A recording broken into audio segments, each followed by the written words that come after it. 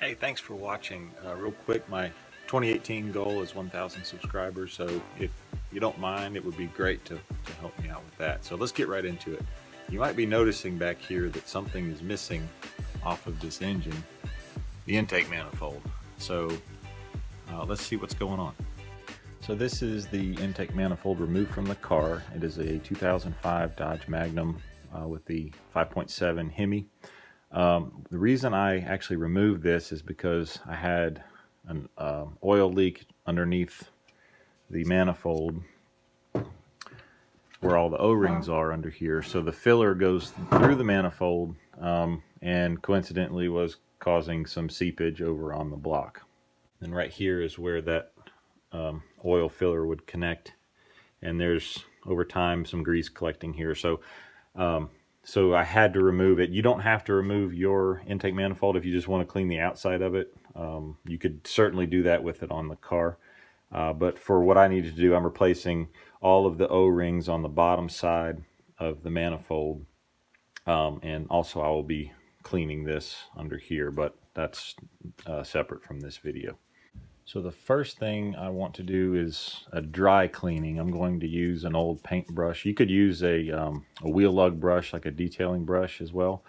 Um, I'm going to take this and, and I um, can sweep off the dirt, but I'm also going to use my shop vac to just suck up as much of the dirt as I can.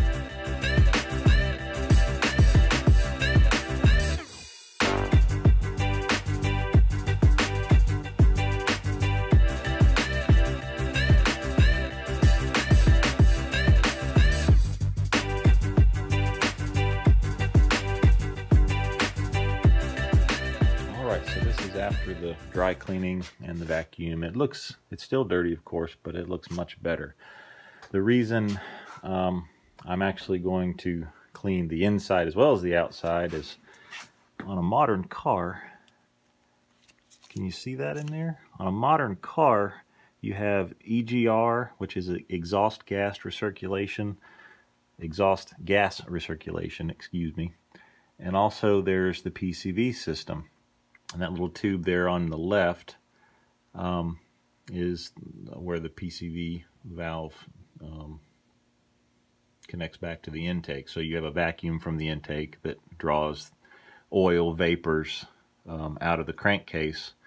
Um, and it's supposed to collect in here, and I'm sure some of it does collect because there's also um, a, a opening into the for the oil to run back down, similar to over here where you fill the oil. But so check this out. If I come in here and wipe it, look at that. That's just, uh, that's nasty stuff. But, you know, that truth be told, this is how the thing was designed, so it's probably not really necessary. But I've got the thing off, and um, I'm going to be, you know, I'm cleaning the outside, and I've got it off. I'm replacing the O-rings um, I may as well, I wanted to really get the outside clean because of all these little nooks and crannies in here. Um, they're just, they hold, they're going to catch dirt. So um, the best way I thought to clean the outside was probably to soak it. And by submerging it and soaking it, I can also clean the inside in there.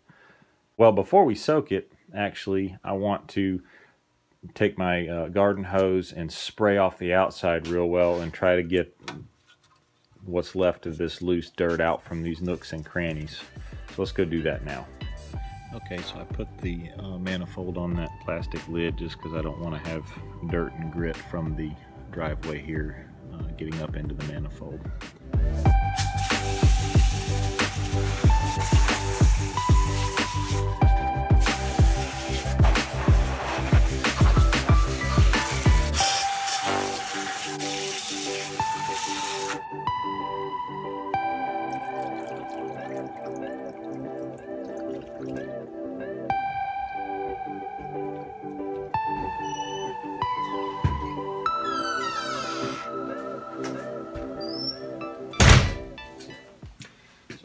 This thing into this container.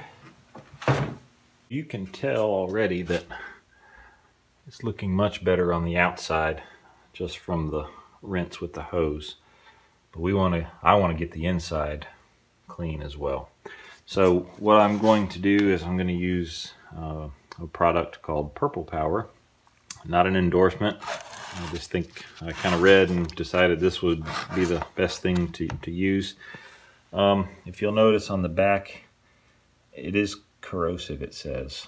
Um, so what I did is I made sure I removed everything metallic from the manifold. So all, you know, obviously the fuel in, on this one, there's fuel injectors and fuel rails and all that. That would come off anyway um, to soak it like this.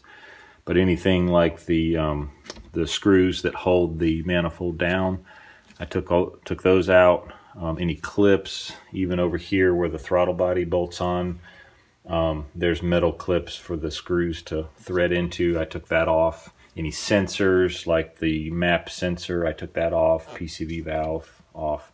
So all I have here is the composite intake manifold, nothing metallic.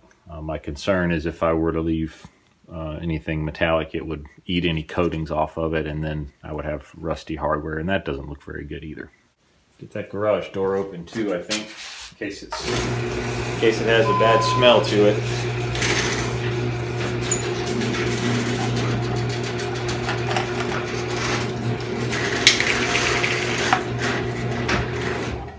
So try to pour it in here. I don't want to, obviously I don't want this to splash back on me.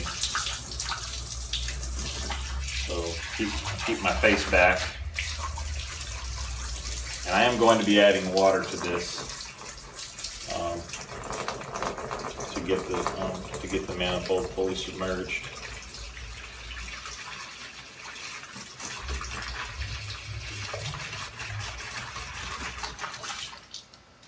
One.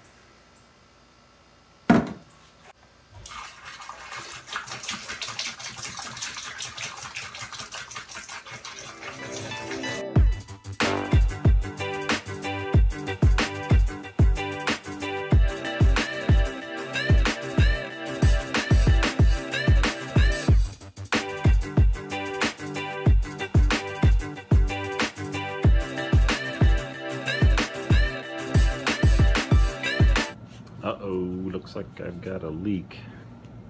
I don't think I spilled that, but I've got another container to put this in.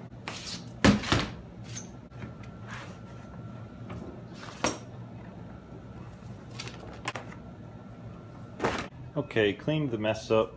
Uh, what I, I just put some uh, some water in this outside container to so that way I wouldn't lose any more of my cleaner out of the inner one. So it's kind of floating in there, but that's okay. Um, so the next thing I'm going to do is I've got this bucket here. It's three and a half gallons. I'm going to go up to the bathtub, get some the hot tap water uh, from there, and then fill this. Put probably two of these in there. Um, I'm not going to use a five gallon bucket just because I don't want to carry a five gallon bucket of scalding hot water through my house in case it were to break and spill and then I'd have a real big problem. So anyway, let's get that done.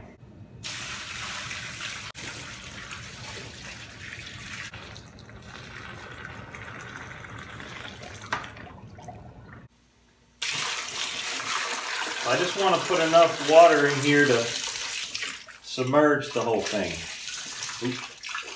without making a mess if I can help it.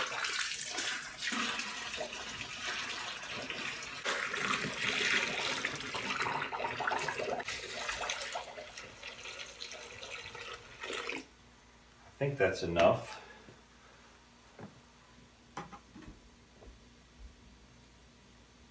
So I don't want to over I don't want to over dilute my solution if I don't have to.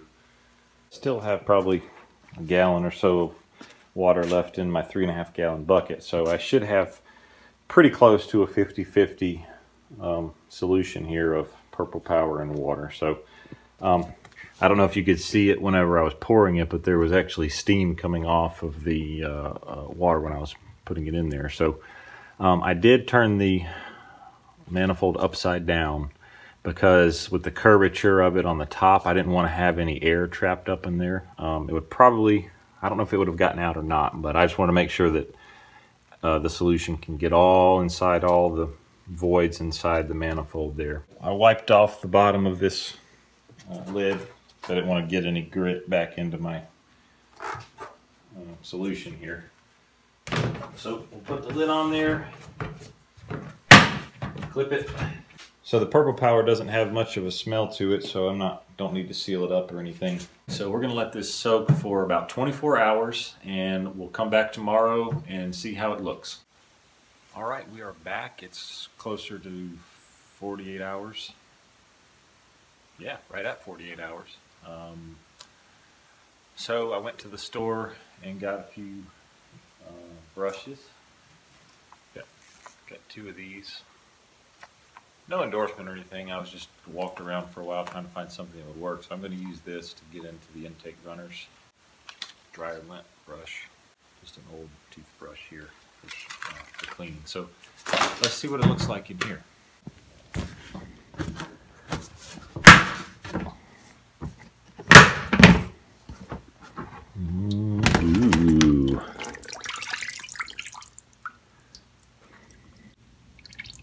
Looks pretty nasty. All right, let's see which end is the front. Ooh. Ooh, terrible. All right, let's go the other way.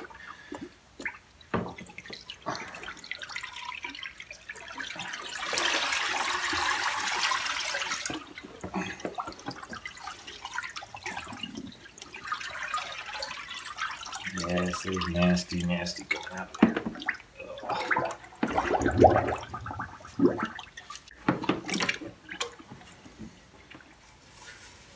Just see how this does.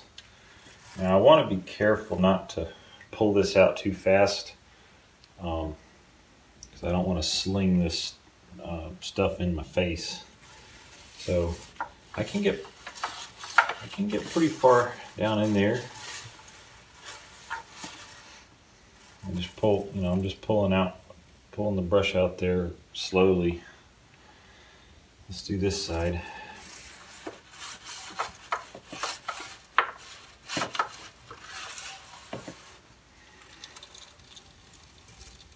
Can rinse it off a little bit. Yeah.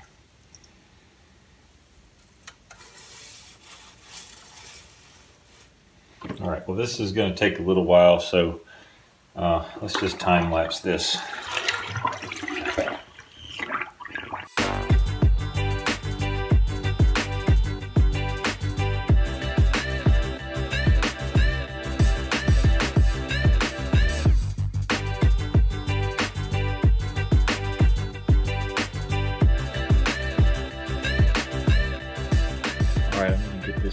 Outside and flush it with clean water and we'll see what it looks like. Well, we've run out of daylight, so I'm gonna, I'll flush it and then we'll come back. All right, uh, it's flushed out.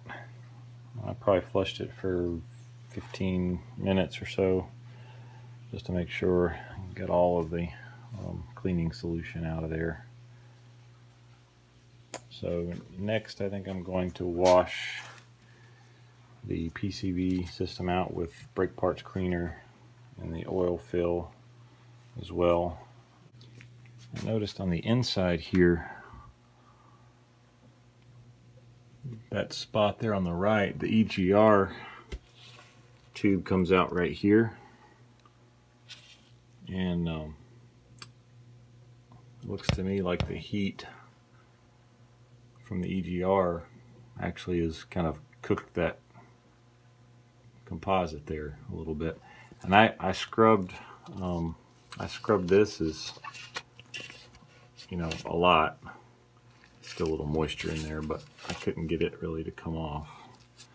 Um, yeah, there's still some water there, so um, but it's you know if it's that caked on there, it's not going to come off now anyway. So and then there was, of course, um, there was uh, the same thing all down in here as well.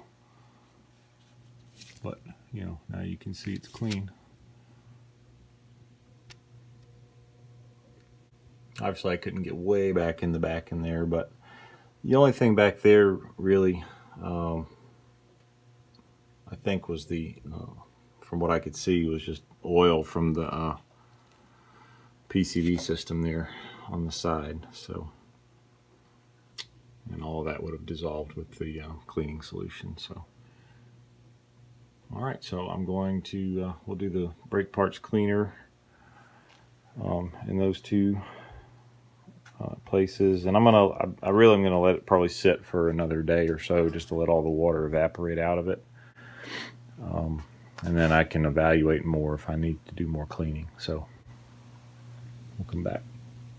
So here's the manifold all dry. I think it turned out pretty nice. Much cleaner than it was. That's the oil filler neck there.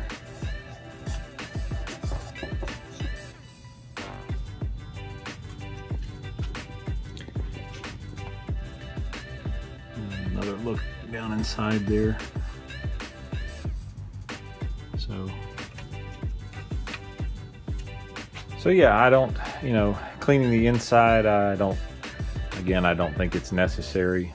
Um, but I, I, definitely think the outside looks much, looks pretty much like new. Um, so overall, I'm satisfied. Um, I thank you for watching. Uh, if you haven't already, please subscribe and uh, rate the video and uh, help me get to my goal of 1,000 subscribers in 2018. Thank you and have a great day. We'll see you on the next one.